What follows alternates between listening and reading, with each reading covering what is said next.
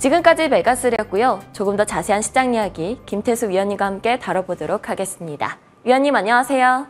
네, 안녕하세요. 네, 간밤 뉴욕 증시는 미국의 GDP 호조에도 불구하고 일제히 하락 마감을 했습니다. 어, 빅테크 주들이 일제히 급락을 하면서 증시 하락세가 계속해서 이어져 오고 있는 모습인데요. 간밤 시장 어떻게 보셨을까요? 네, 시장에서는 전반적으로 valuation이 너무 높지 않냐 이런 얘기들을 하고 있습니다. 지금 S&P 500의 PER가 23배 이상 나오고 있는데 한 20년 정도 이렇게 기간을 두고 보면은 굉장히 높은 수준에 위치하고 있고 이거보다 더 올라가게 되면은 어, 거의 이제 패닉 상태로 들어가는 그런 상황들이 나오게 됩니다. 그래서 지금 현재의 어떤 그 국채 수익률 상황 이런 것들을 봤을 때 시장의 valuation이 좀 높다 이렇게 좀 많이 평가들을 하고 있습니다. 어제 저녁에 파월 의장이 뉴욕 이코노미 클럽에서 이제 얘기를 한 게 있어요. 그 미국 경제가 굉장히 뭐 탄력적으로 잘 되고 있다 이 얘기를 했는데 그 얘기를 이제 시장에서 고지고대로 받아들이지 않죠. 언제든지 아, 금리를 올릴 수 있겠구나라고 또 받아들이기 때문에 그다지 시장에는 영향을 미치지 못하는 모습이었습니다.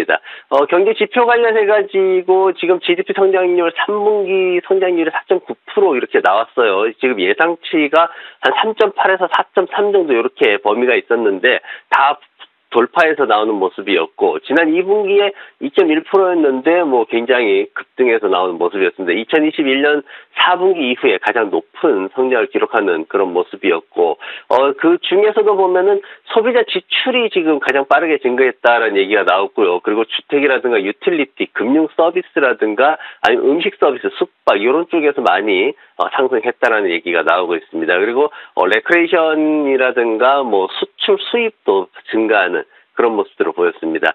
어, 그리고 미국의 개인 소비 지출 물가 지수 같은 경우에도 3분기에 2.9% 정도가 나왔습니다. 2분기에 2.5% 나왔는데 그것보다도 더 상승하는 이런 모습이 보였고, 어, 경제학자들이 지금 나온 얘기는 지금 뭐 굉장히 좋은 데이터들이 나왔어요. 그럼에도 불구하고 경제학자들 같은 경우에는 이게 지속성을 가지기 어렵다라고 했습니다. 왜 그러냐면은 그 배경을 봤더니 저축률이 급격하게 하락을 했다는 거죠. 근데 저축률 하락하면서 최근에 보면은 가처분 소득 하락하고 있다라는 것도 제가 말씀을 드렸었죠. 그러다 보니까 저축률 하락이 어, 투자 증가로 연결되는 게 아니라 그냥 말 그대로 사람들이 쓸 돈이 없어지는 이런 상황으로 되고 있고 또 정부 지출이 최근에 재정 지출이 좀 증가를 했습니다. 근데 이 부분이 또 지속성을 갖기도 또 어렵다라고 얘기를 하고 있고 그러다 보니까 경제학자들 같은 경우에는 지금의 이 데이터들을 갖다가 지속성을 가지고 경제 가 회복될 것이다라고 말하기가 굉장히 어렵고 오히려 내년 초나 이렇게 해가지고 급격하게 침체 국면이 들어갈 수 있다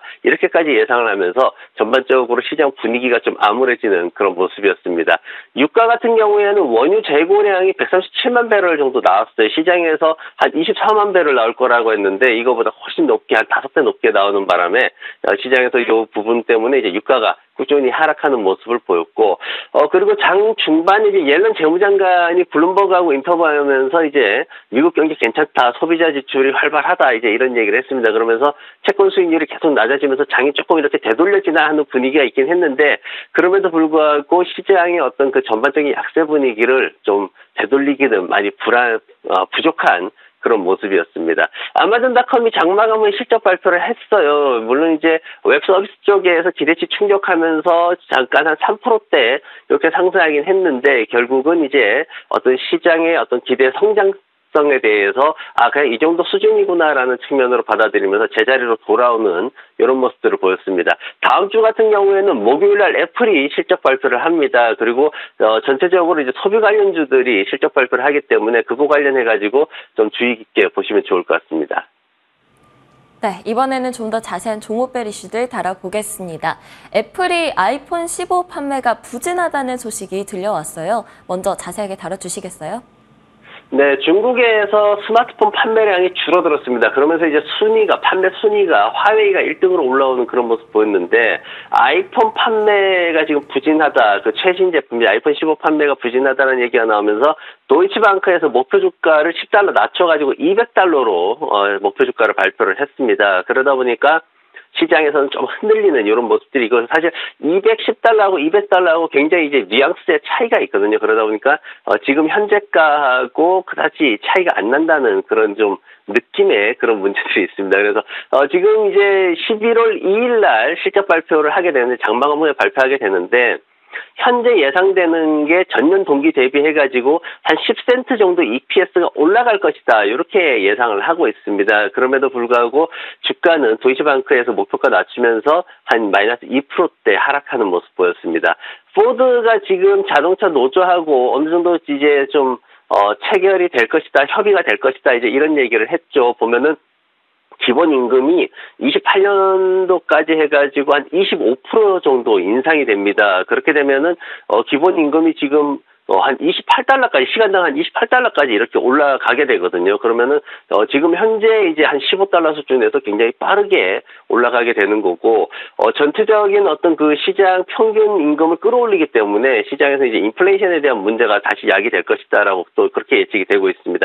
UPS가 3분기 실적 발표한 이후에 한 5%대 하락을 했거든요. 그게 바로 왜 그러냐면은 노조랑 협상해가지고 임금을 올려줬는데 인건비 증가에 따른 사업 손실이 늘어났습니다. 그래서 어, 자동차 회사들도 앞으로 이 과정을 밟을 수밖에 없는 그런 상황으로 진행이 될 거고 월풀 우리가 이제 세탁기나 냉장고로 유명하죠. 월풀이 어, 실적 발표를 했는데 이게 이제 앞으로 더 낮아질 것이다 이래 guidance가 그렇게 나왔습니다. 그러면서 어, 급락을 하는 그런 모습들이 있었고 어, 메타가 지금 그 4분기에 대해서 가이던스를 갖다가 좀 낮춰잡는 그런 모습이 있었어요. 지금 이스라엘 쪽의 전쟁이 광고 지출을 감소시키고 있다. 이게 실질적으로 나타나고 있다. 이렇게 지금 어, CFO가 얘기를 했기 때문에 메타의 주가가 급락을 하고 있는 그런 모습을 보이고 있습니다. 그동안 굉장히 열심히 올라왔는데 빠르게 지금 300달러 무너뜨리면서 어, 장중에 떨어져 있는 모습 보이고 있기 때문에 이 부분 조금 주의해서 앞으로 광고 시장 보셔야 될 것 같습니다. 네, 종목별 이슈들 자세하게 짚어봤고요. 이번에는 위원님의 pick도 확인해 보겠습니다. 미국의 소매 기업 가져오셨어요. 벌링턴 스토어 가져오셨는데 꼽아주신 이유가 있을까요? 네, 벌링턴 스토어는 이제 뉴저지 벌링턴에 본사가 있습니다. 한 천 개 가까운 매장을 가지고 있고요.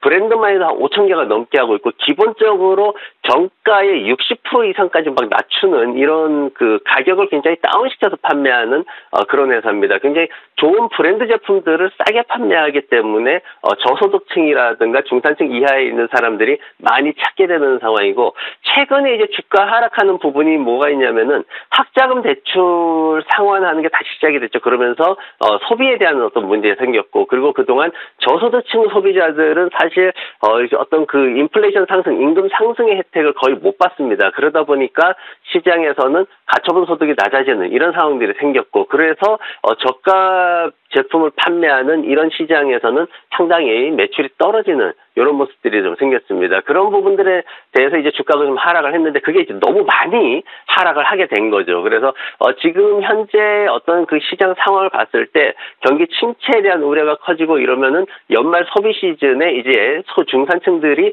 조금 더 낮춰서 가격대를 낮춰서 벌링턴이나 이런 회사들로 어 소비를 집중을 할 것이다. 이렇게 지금 예상들을 하고 있습니다. 그래서 최근에 보면은 실적 기대치를 조금씩 놓쳤어요. 그러다 이제 어 직전 분기에 간신히 이렇게 맞추는 모습이 생겼는데 팬데믹 이후에 좀 급등했던 그런 매출이 있습니다. 근데 그 부분을 다시 조금 되돌리면서 제자리를 찾는 과정이다라고 보시면 될 것 같고 매수 의견은 비슷하게 유지가 잘 되고 있습니다. 그러면서 시장 평균 목표가가 지금 203달러까지 나오는데 현재가보다 한 80% 정도 높은 그런 수준입니다. 그래서 이런 기대치가 굉장히 높다라는 게 중요한 거고 어 지금 차트 보시면은 지금 이번 올해에 추정되는 EPS가 4달러대임에도 불구하고 굉장히 과매도된 상태다라고 볼 수가 있습니다. 그래서 지금 현재 119달러 수준인데 120달러 아래에서는 편안하게 114달러까지 분할 매수할 수 있는 그런 구간에 왔다라고 보이지고요. 1차 목표가는 50주 이평선 있는 178달러까지 보시면 될 것 같고 손절매는 매수가에 마이너스 7% 또는 한 108달러 정도에다가 손절매 라인 잡아주시면은 편안하게 투자를 하실 수 있을 것 같습니다. 오늘 위원님의 픽은 벌링턴 스토어즈였습니다. 어, 현재 과도한 매도 상태에 들어가 있는 상태인데요. 매수가는 120달러 아래에서 분할 매수하자. 그리고 목표가는 178달러 제시해 주셨습니다. 지금까지 김태수 위원님과 함께했습니다. 오늘도 좋은 말씀 감사합니다. 네, 고맙습니다.